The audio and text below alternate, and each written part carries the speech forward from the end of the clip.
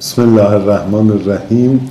خدمت دوستان عزیزم در روسیه از کالینینگراد تا ولادیوستوک و همچنین دوستان روززبانم در کشورهای دیگه سلام عرض می‌کنم. خیلی خوشحالم که در آخرین روزهای سال 2015 این فرصت بر من پیش آمد که هم یک بار دیگه به مسکو بیام. و هم بتونم این پیام رو برای شما ارسال بکنم. چند روز آینده سال 2015 پایان خواهد یافت.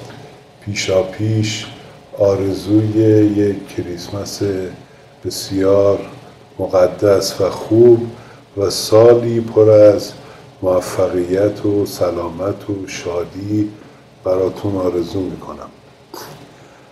خب در سال 2015 شاهد رویدادهای زیادی بودیم. اما به نظر من خوبی این سال این بود که دوستان از دشمنان جدا شدن خطشون و دوستان واقعی همدیگر رو شناختن و به صورت اتحادی در آمدن.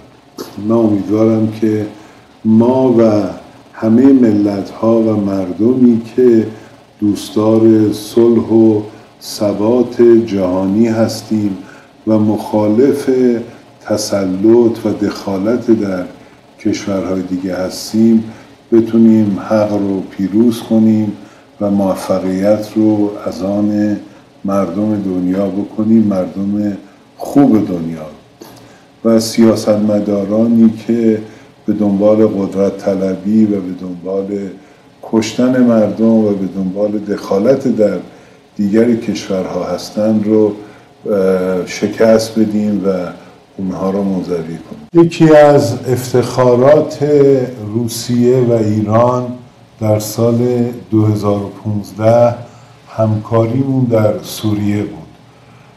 متاسفانه برخی کشورها با نیت اینکه سوریه را هم تبدیل به یک لیبی دیگه بکنن دخالت کردن تروریست فرستادن تسلیحات به اونها دادن.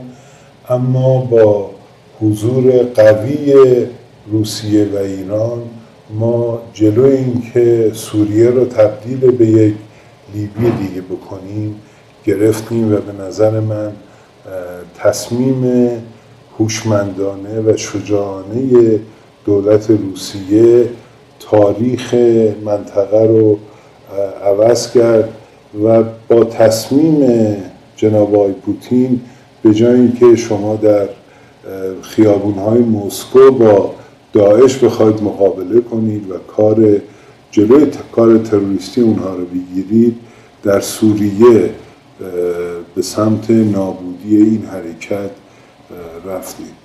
همه مسلمانان جهان داعش رو زاییده سیاست های غلط آمریکا و غرب در خاور میانی می‌دانند و این حرکت رو محکوم می‌کنند.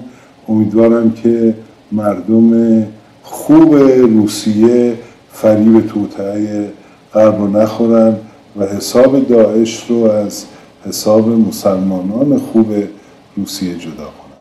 در صورت دوست ندارم که اوایل سال صحبت سیاسی داشته باشم.